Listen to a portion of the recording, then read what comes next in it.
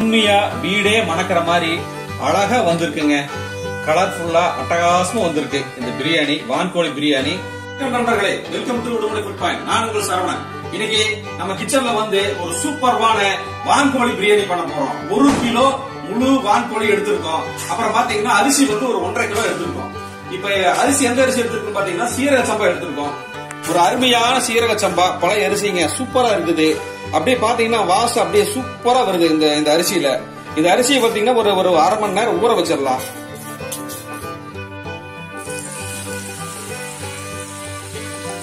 இதை பாத்தீங்கன்னா ஒரு தடவை கழுவிட்டு ஒரு அரை மணி நேரம் இருந்து முக்கால் மணி நேரம் ஊற வச்சிடலாம்.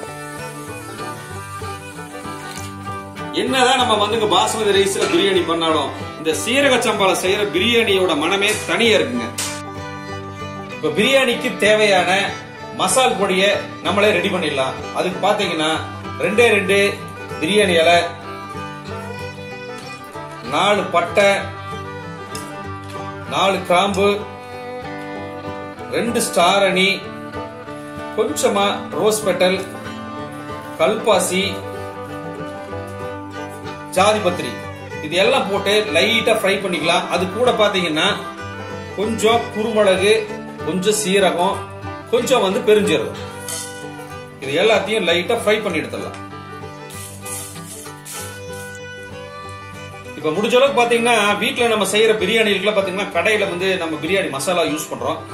முடிஞ்ச அளவுக்கு இந்த மாதிரி நம்ம எல்லாத்துலயுமே கொஞ்சம் கொஞ்சமா போட்டு பிரியாணி மசாலா நம்மளா ரெடி பண்ணா நம்ம உடம்புக்கு ரொம்ப நல்லது.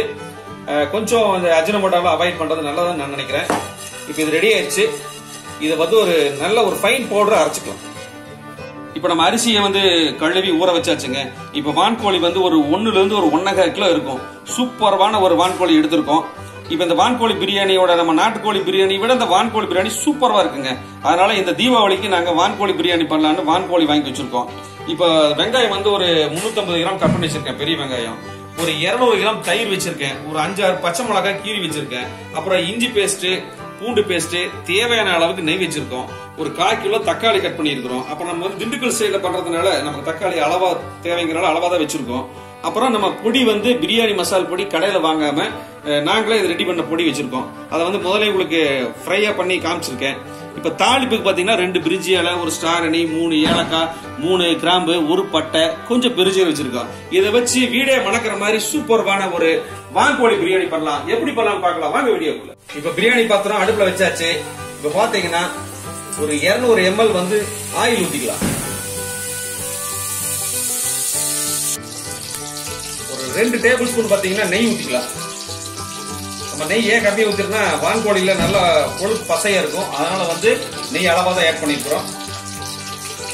நெய் காயிடும் இப்ப இதுக்கு பாத்தீங்கன்னா தாளிப்புக்கு ஒரு ரெண்டு பிரிஞ்சி இலை ஒரு ஸ்டார் அணி ஒரு ரெண்டு பட்டை மூணு கிராம்பு மூணு ஏலக்காய் கொஞ்சமாக பெருஞ்சீரகம்.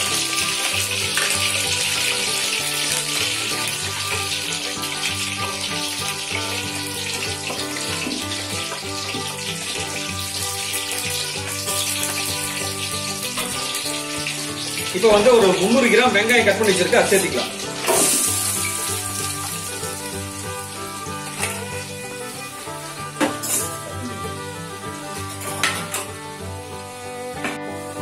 வெங்காயம் நல்லா வதங்கட்டும். இப்போ வெங்காயம் ஓரளவுக்கு செவந்து வந்துருச்சு. இப்போ வந்து பூண்டு சேர்த்துக்கலாம். பூண்டு பேஸ்ட் வந்து ஒரு மூணு டேபிள் ஸ்பூன் ஃபுல்லா போட்டுக்கலாம். ஏன்னா வான்கோழி வேகணும். அப்புறம் இஞ்சி வந்து ஒரு மூணு டேபிள் ஸ்பூன் போட்டுக்கலாம். ஓகே அப்புறம் பாத்தீங்கன்னா பச்சை மிளகாய் வந்து ஒரு ஆறு பச்சை மிளகாய் வச்சிருக்கேன். அதை சேர்த்துக்கலாம். இந்த இஞ்சி பூண்டு வாசனையில பச்சை வாசனை போடுறோம் நல்லா வதக்கி விட்டுருவோம்.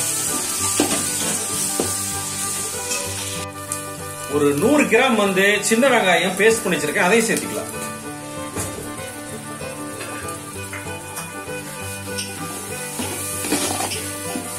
ஏற்கனவே எங்க சேனல்ல பாத்தீங்கன்னா ஒரு கிலோ நாட்டுக்கோழி ஒரு கிலோ வந்து பிராய்லர் கோழி சிக்கன் அது அது பிரியாணி போட்டிருக்கோம்.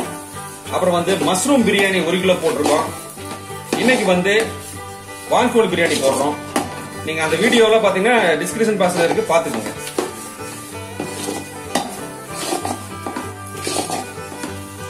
இப்போ நம்ம ஏற்கனவே வந்து பிரியாணிக்கு நம்மளே பிரியாணி பொடி ரெடி பண்ண பாத்தீங்களா? அந்த பிரியாணி மசால் பொடி போட்டுக்கலாம்.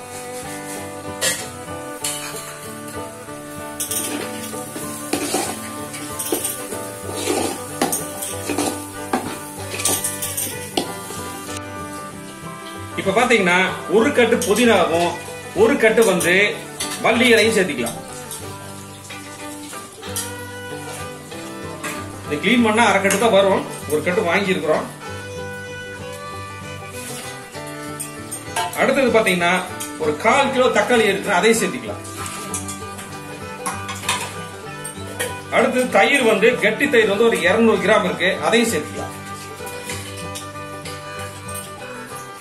இதை எல்லாத்தையும் சூப்பரா மிக்ஸ் பண்ணிடுங்க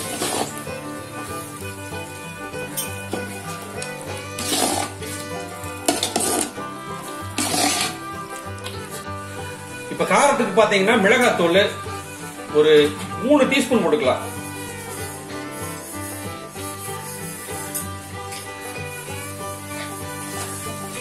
இதையும் சேர்த்து நல்லா கலந்து விட்டுருவோம். நம்ம எதுவுமே வந்து ரெடிமேடு மசால் பொடி எதுவுமே ஆட் பண்ணல. முடிஞ்சளவுக்கு நான் அவாய்ட் பண்ணுவேன் அது எல்லாமே. இன்னைக்கு அதை அவாய்ட் பண்ணியிருக்கேன். சூப்பரா வந்துட்டு இருக்கு கிரேவி நல்லா மிக்ஸ் பண்ணிடலாம். இப்ப பிரியாணி தேவையான கிரேவில சூப்பரா ரெடி ஆயிடுச்சுங்க. இப்ப வந்து வான்கோழி போடலாம்.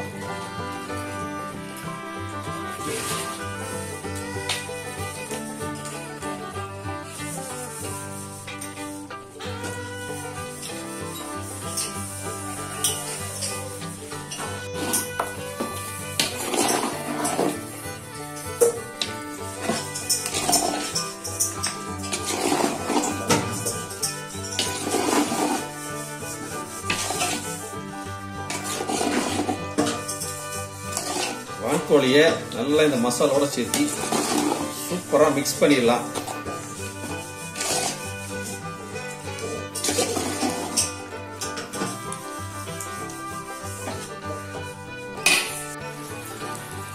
இப்ப வான்கோழி மசாலாவோட சூப்பரா மிக்ஸ் ஆகி வந்துட்டு இருக்கு இப்ப இது வழக்கமான பிராய்லர் கோழியா இருந்தா சீக்கிரம் வெந்துடும் இந்த வான்கோழினால ஒரு ரெண்டு டம்ளர் தண்ணி ஊத்தி கொஞ்ச நேரம் வேக விடணும். ஒரு பத்துல இருந்து இருபது நிமிஷம். இப்ப வந்து ஒரு ஒரு ரெண்டு டம்ளர் தண்ணி ஊத்திக்கலாம்.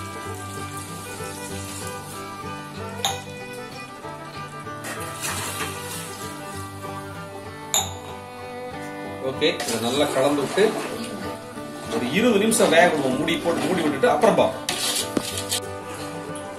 இப்ப வான்கோழி சூப்பரா வந்துட்டு இருக்குங்க.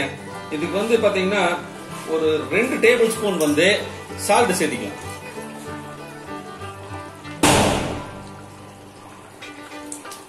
அப்புறம் வந்து ஒரு ரெண்டு லெமனை வந்து ஜூஸா புழிஞ்சு வச்சிருக்கோம். அதையும் ஆட் பண்ணிக்கலாம்.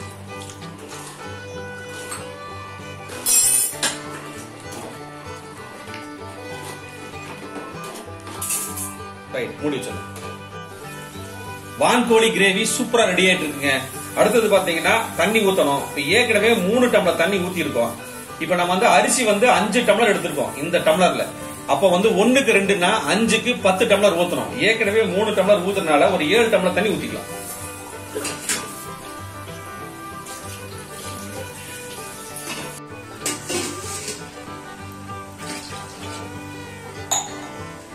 ஏழு டம்ளர் தண்ணி ஊத்தியாச்சு.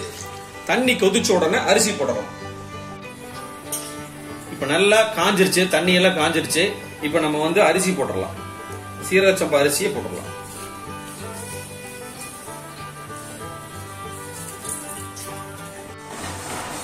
இப்ப அரிசி கிரேவியோட சேர்த்து நல்லா மிக்ஸ் பண்ணி விட்டாச்சு. இப்ப நம்ம வந்து உப்பு காரம் செக் பண்ணிக்கலாம்.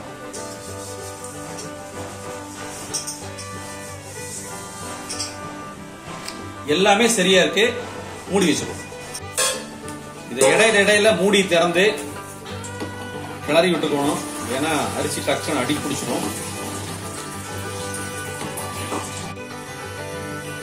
வான்கோழி பிரியாணி அருமையா வந்துட்டு இருக்குங்க. வீடே மணக்கிற அளவுக்கு சூப்பரா ரெடி ஆயிட்டு இருக்கு. இப்ப பாத்தீங்கன்னா ஒரு 75% ஃபைவ் பர்சன்ட் ரெடி ஆயிருச்சு. இப்ப வந்து நம்ம வந்து தம் போட்டுடலாம். இப்ப கீழே வந்து ஒரு கெட்டியான ஒரு தோசைக்கல் வச்சு மேல வந்து பிரியாணி பாத்திரம் வச்சிருக்கோம். இப்ப கொஞ்சமா நம்ம நெய் ஆட் பண்ணிக்கலாம்.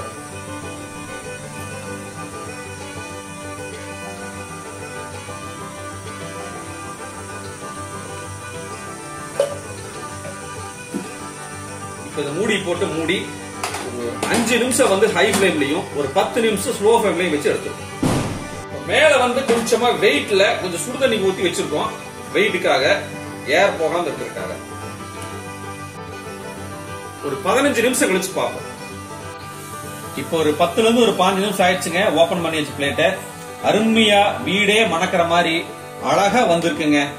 கலர்ஃபுல்லா அட்டகாசமா வந்திருக்கு இந்த பிரியாணி வான்கோழி பிரியாணி. இதே மாதிரி நீங்களும் ட்ரை பண்ணுங்க. நல்லா சீரக சம்பா வாசனை அருமையா வருது. சீரக சம்பா அரிசியில இந்த பிரியாணி. அருமையா வந்திருக்குங்க.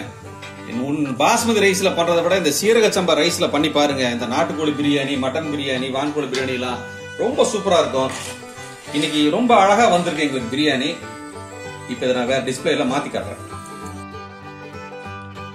இந்த வீடியோ பிடிச்சிருந்தா லைக் பண்ணுங்கள் ஷேர் பண்ணுங்கள் கமெண்ட் பண்ணுங்கள் சப்ஸ்கிரைப் பண்ணுங்கள் ஏற்கனவே எங்கள் சேனலில் பார்த்தீங்கன்னா நாட்டுக்கோழி biryani Hyderabad chicken biryani broiler biryani mushroom biryani அதோட லிங்க் எல்லாம் டிஸ்கிரிப்ஷன் பாக்ஸில் இருக்குது அதையும் பார்த்து என்ஜாய் பண்ணுங்கள் இந்த வீடியோ பார்த்ததுக்கு ரொம்ப நன்றி.